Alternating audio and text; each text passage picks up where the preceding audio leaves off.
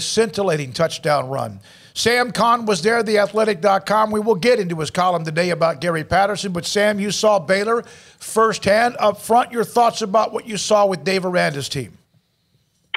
Really impressed by the growth and maturity this team showed uh, in circumstances in the second half, down by double digits. I, I never really, at any point in that game, even when they were down, thought this team was going to lose. In part because Texas has struggled in the second half, but also because – just the flow of the game offensively, the way I thought they called it. Jeff Grimes, I thought did a great job on the call. Uh, even with the turnovers of Bohanon, I think this team is mature. It's confident. You see how much experience there is all over the field. The team is littered with guys that were on that 2019 team, and they play that way. They play poised. They play confident. There was no panic. And when they start getting a roll in the second half and they started got those three straight touchdown drives, I wasn't shocked in the least. They've done that a lot this year where they've kind of gotten on a roll and gotten in a rhythm. And when they do, boy, they're hard to stop. I think this is definitely one of the best teams in the Big 12. Sam, what do you think is the reason for Texas's second half problems? I think it's a multiple, multifaceted thing.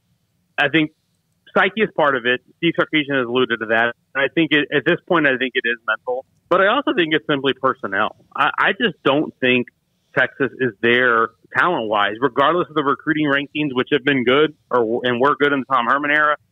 I don't look at that team, and I've seen a lot of teams around the state and, and a few others around the country. I don't look at Texas and see elite talent up and down the roster. I see a few elite players. I think Bijan Robinson's an elite player. I think David Worthy's an elite, play, elite player. I think Marvin Overshown's really good. Josh Thompson, the corner's really good. I, I don't see across the line of scrimmage a bunch of difference makers on offense or defense. I thought Baylor's offensive and defensive lines were better and have been better than Texas. Me, it starts and ends right there. And if you're not good up front on offense, if you're not good up front on defense, it's hard to win a lot of ball games and it's hard to outlast teams. You can only win with smoke and mirrors for so long. Sam, I know that Texas was able to hit some big plays and could have hit more, quite frankly, uh, if, if, things would have worked out better for them. But what, what did you think uh, with Bijan Robinson heading into the weekend? He was less than 100 yards away from 1,000. And I wrote an article, like, he's almost assuredly going to get, you know, close to 100 yards this week, and that's what he does every week. He ends up with just 43. What did you make of that? I was really surprised because if, if there's one thing this offense has been able to count on, it's been him. But credit to Ron Roberts and, and the Baylor defense for what they did schematically against him. And also, I think you you give a lot of, of, of credit to Apu because I, I watched them a lot and they were double teaming and triple teaming a lot. And guess what? Hard to run up the middle with a 350 pound guys getting double and triple teamed in the middle. So it, it makes it hard to find holes. And that that's where a, a presence like that in the middle becomes such a value for defense because it requires so many offensive guys so you cannot attack in at the middle of the line of scrimmage in between the tackles. You've got to go on the perimeter, and that's that's why they threw the ball a lot. And give give Baylor credit for their game plan, and also I think so Sarkisian at times, especially in these last few weeks, and certainly in the second half, has gotten away from Bijan. I don't know how that's happened from a play calling standpoint, but definitely against Oklahoma, Oklahoma State, and a little bit against Baylor in the stretch. It seems like as the game wears on, they kind of get away from Bijan. And, and the, the, last week, I think it was understandable, but the previous two weeks, he was pretty successful in the first second quarter. So I'm not sure why that is, but it, it's it's a multitude of things that led to that, in my opinion. Sam, you've covered Baylor before, and you've heard Dave Aranda before, but you were there for the post game after the win against Texas. Uh, your thoughts about any references to the Berenstain uh, Bears, uh, to yellow and green lights like a traffic light on? Well, you're just what you saw from him. I, a lot of national writers, when they've come in they walk away with a smile on their face with what they hear from him. I, I love Dave because he's he's always going to give you something different that no one else in this country will. The green light, red light thing, uh, yellow light, I've heard before because we, we talked about that when I visited him in the spring in his office. Mm-hmm. Uh, but but the Berenstain Bears, that is absolutely in my 17 year career coloring college football, first time I've heard a Berenstain Bears reference in a press conference. And so, and you know what? The way he broke it down, it wasn't like I'm just going to throw this book reference out. Like, no, I'm actually going to go to the store. You can tell he sat there and read it to his children. So, I mean, that's that's impressive. As someone who I read to, to my kid every night before bed, I can certainly appreciate somebody who knows the story and can recite it quite that well on a dime. Sam, uh, TCU open for the first time in 21 years. Gary Patterson's out. You can kind of feel the heat getting hotter on him just uh, on the different rants he went on week to week and the way that they were playing, not only offensively, but defensively. How surprised were you by this? And, and who do you see as a natural fit to take over that job? I was surprised by the timing. Not necessarily that it was heading that way, but I certainly didn't expect uh, to get a message and a phone call last night before early last yesterday evening saying that Gary Patterson's departure was about to be announced. Uh, I certainly thought it would have been an end of season thing if it happened this year. Uh, and I also thought Patterson would have a little bit of a say in, in the end of his tenure, but clearly that wasn't the case. There was just a multitude of issues uh, that, that were present there. And I think the biggest one you hit on it is defense. The one thing you've always been able to count on in a Gary Patterson TCU team is a great defense. And boy, they have been bad on that side of the ball this year. They haven't been able to rush the pass effectively. They've been beat up. They've had guys play out of position because of injuries. Uh, they haven't been able to stop teams. They've been one of the worst rushing defenses in the country. They've been one of the worst defenses. Period. They're they're in the bottom 20, 30 in the na- in the nation in yards per play, in scoring defense, you name it. So it's been really unfortunate to see how they trend on that side of the ball because I look at the roster and I look at the talent, and to me, they're one of the most talented teams in the conference. And when you, I think when you guys see them on Saturday, you watch their guys run around. They are a supremely talented team, but it did not translate on the field. And I think the downward trajectory of the last four years, uh, they they haven't been a great team. They haven't competed for the Big 12 title like they had early on in their time in the conference, or, or competed for conference titles like they did early on in Gary Patterson's tenure before they entered the Big 12 it's it it's not been going in the right direction. And in this day and age, when you have an uncertain future in the Big 12, uh, you, you know you, the conference is going to be without Texas and Oklahoma. You've got to kind of establish yourself. I think Jeremiah Donati and TCU leadership decided, hey, we've got we've got to right the ship somehow. And I know for some people it's tough to push out a legend that's taken them to unprecedented heights, but uh, certainly they felt like something had to change. So, Sam, you are known as the uh, Texpert over at the Athletic, the Texas expert. You, you cover all the Texas schools, and uh, man, you have not had any shortage of storylines. I mean, the Gary Patterson one, but you look at what's going on, just the coaching carousel, and and what could happen if you know just let's say Dykes moves to to TCU or to Texas Tech, and then what that means for other jobs. Just what do you make of the kind of wild landscape in the state right now? Yeah, I thought coming into the season, I thought maybe we might have one or two jobs open, maybe maybe Texas Tech, maybe North Texas opens. But I certainly didn't anticipate we'd have two before November 1st. and then, we, we probably could have more at the end of the season. I think, you know, keep an eye on North Texas, keep an eye on Texas State. Uh, you know, the, and then if, like you said, if Sonny Dykes moves on to, to one of these two open Power Five jobs in the state, SMU will open up. So uh, it could be a very, very eventful, silly season uh, in the state of Texas this fall. Certainly, not quite what I envisioned, but but I'm ready for it. I've spent a lot of time on the phone the last couple of weeks. I anticipate I'm going to spend a lot of time on the phone in the next month uh, month plus. But um, it's going to be interesting to see. You mentioned Dykes. I think if, if he, I think either one of those jobs, Tech or TCU, would be a good fit. Obviously, he's got the ties to Texas Tech. You know, his dad coached there. Sonny's an alum. Played baseball there. Has been an assistant there under Mike Leach in the heyday. But TCU is a really attractive job too, with its location, facilities, financial resources, you name it, what they've been built to be because of Gary Patterson's success.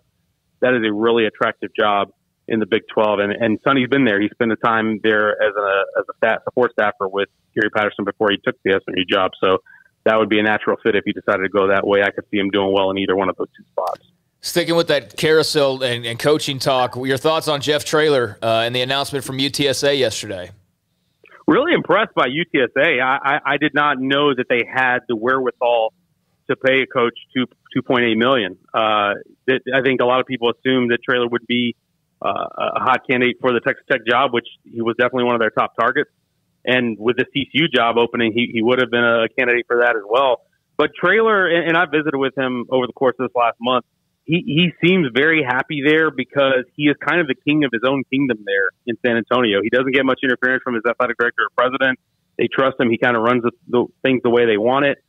He's got a new conference that they're going into, which which is going to be a little bit of a step up for UTSA. That's a little bit of an appeal. And I, I think just being there two years, it feels like that he's got some unfinished business. I think he, I, I don't know that he'll be there forever, but I think he may be waiting for an even bigger job uh, than the ones that are open right now. Uh, and in the meantime, I think he's happy if if you're able to pay him what they're paying him, which is not too far off what what Texas Tech was playing Matt Wells. They were paying Matt Wells 3.1 million. So if you're able to have a competitive salary, you're happy, you run the program the way you want it. They're building facilities, they're committed to improvement in the program, and and you've got kids that buy into you and believe in you, hey, uh, there's nothing wrong with with being happy and staying where you are. So looks like I think he'll be there for at least another year or two, and then I guess we'll see if, if they continue to succeed at the level that they are right now. Uh, schools are not going to stop calling and, and sniffing around Jeff Traylor. Jeff Traylor today at 4:30 here. Dave Aranda coming up next. Sam's tweet last night. This was late last night after a long day. Uh, Heather Dinich put up uh, what might end up being the college football standings, and Sam goes, "If a 13 0 Cincinnati with a road win at Notre Dame gets left out of the playoff in favor of a bunch of one-loss Power Five teams, I will riot." well, hey, a lot of TCU and Baylor fans are already warning Cincy Yeah. fans about how this Yeah. goes. Yeah. So yeah, I mean, they they know how it goes. Uh, I mean, here's the thing: if if if we want to say that these Group of Five programs and, and college athletic leadership wants to say that the FBS, the Football Bowl subdivision, is all one division and everybody has a chance, then to me, a 13 and 0 Cincinnati, who by the way will have a win over a good SMU team and a probably a pretty good Houston team in the conference championship game if Cincinnati indeed goes 13 and 0. That combined with a win over what right now is a top 12 Notre Dame team, I I don't see why that why that resume is not good enough in my opinion. And I look at a team like Oklahoma, and no offense to Oklahoma, but they don't have a win as good as Notre Dame on their slate right now. Their their combined FBS opponent's record is worse, and winning percentage is worse than that of Cincinnati's at this moment. Now they'll have a chance. Oklahoma will have a chance to get some better wins because they've got Baylor and Oklahoma State on the back end. But I, I just don't like the different way we evaluate these teams based on what conference they're in or what their logo is or what their name is. Uh, just tell me what has happened on the field. What has that team looked like on the field? And yes, Cincinnati the last two weeks hasn't looked great, but for, before that, the, their first five, six games, they have been, in my opinion, one of the best teams in the country. And so if they continue to do that, and and you're going to give other teams a pass for for losing a game while you dock uh, Cincinnati for struggling against Tulane, which by the way Oklahoma did too. To me, it's just an uneven evaluation and an unfair playing field. And to me, if, if we're going to do that, then let's just separate the divisions completely. Allow the Group of Five to have its own playoff. Allow the Power Five to have its own playoff. Let's do it that way, and let's stop pretending that we're really having an equitable system where everybody has a real shot. This is why I think a 12 team playoff expansion is sorely needed in the college football landscape. Thank you, man. Appreciate it. Sam Khan, good to see you. Get some rest, man. I saw that bottle of Samuel Adams in front of your laptop. That was 17 hours ago. So let me see. That was at midnight. Is that right? About Yes. yeah, I needed it, uh, and I will tell you, I'm going to bed early. You've earned it, buddy. Good to see you Saturday. Good job on the column. Thanks for being a part of the show. That's uh, Sam Khan Jr., theathletic.com. Just saw that uh, Jeremiah Donati is going to speak to the media tomorrow. I didn't see a time for it, but that will be his first public comments and I guess time in front of the media since uh, the news yesterday, obviously, with Patterson's exit. So uh, we will get some TCU uh, AD talk tomorrow at some point. All right, the, the chat room, we have not been able to read much of it, but we're watching uh, and, and love it. Appreciate you. A lot of you on many things from uh, Gary Patterson to, to uh, UCF uh, people wanting to say, hey, we're a part of the Big 12 now. We love how this conference Hey. is together. Look at the Big 12. Look at the new Big 12 in the rankings right now. Look at the new Big 12 over Yeah. the weekend. What's going on here? Yeah. I like it. And. Cincy's representing. BYU got a big win. I watched that game till what felt like four o'clock in the morning, even though it was it was not that late. But you know, uh, Tyler Allgeier another big performance. Jaren Hall looked good. BYU had to rally a bit, and that was a a nice win. So yeah, I mean, UCF gets a big win and. Yeah, let's go Big 12, new Big Houston? 12. Yeah, yeah, Houston? and obviously, gosh, almi- gosh almighty, uh, Houston with a massive, massive win. That unbelievable ending. I mean, the kick return touchdown, uh, just an improbable. Did you know that guy has nine Yeah. returns? Yeah, nine. for They said it during the play-by-play. They were like, "Hey, he's got nine touchdowns. Like, make it ten or Yeah. whatever they said." I would have kicked it straight out of bounds, even if it went out of bounds at the 38 yard line. I'm kicking it straight out of bounds in that situation. But you look at all four of the new teams, and they're either in the top twenty-five or Yep. flirting with it. And uh, so, yeah, that's great. That's Good awesome. to see, and SMU a tough loss for them, and now they have to themselves deal with the possibility of what happens with their coach. Uh, all right, when we come back, my conversation with Baylor head football coach Dave Aranda on many things, sometimes much more than just football, which I enjoy when I get a chance to visit with him, and that's next on SicEm 365 Radio.